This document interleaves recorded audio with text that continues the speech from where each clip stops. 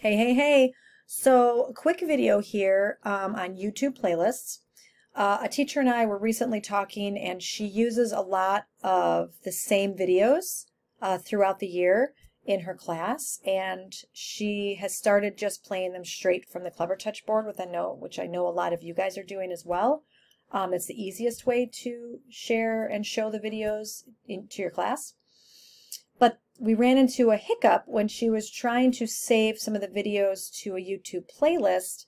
The save button, like right here, is grayed out. And I completely forgot that um, when someone creates a video and they check mark the box that says it's made for kids, um, you can no longer save those videos to playlists. However, there is a workaround. So I'm going to show you that now. So if you are interested in creating a playlist and many of your videos are made for kids, so you don't have the save button, then this is a great way to have them ready and available in a YouTube playlist so you can just click them throughout the week or year or whatever and have easy access to them. All right, so step one is open up the video you want. I'm assuming you already have a playlist created. If you don't, then you need to go do that. All right, gray save button is grayed out. So this time I'm going to click the share button. So I get my URL here. I'm going to copy that. Okay.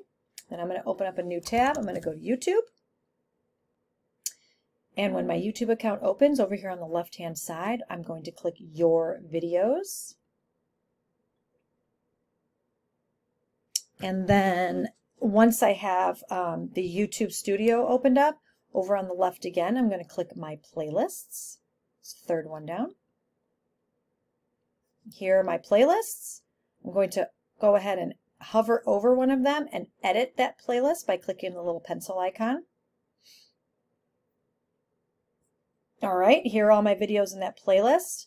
Now, again, I can't just save one, so I'm going to go down here and see these little arrows, shuffle play, share, and then there's these three horizontal dots. I'm going to click on those three horizontal, horizontal dots. I'm going to click add videos. I'm going to hover over URL and click on that, and I'm going to paste Control V into my um, uh, area there, and that is the URL I copied earlier.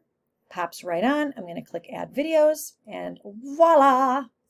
It is now on my playlist. Okay? So I hope that helps. Let me know if you have any other questions about creating a playlist, um, and I'm happy to help. I do think this is the best avenue, best way for you to have easy access to all of those videos that you do share uh, regularly throughout the year. All right, chat with you later. Bye, guys.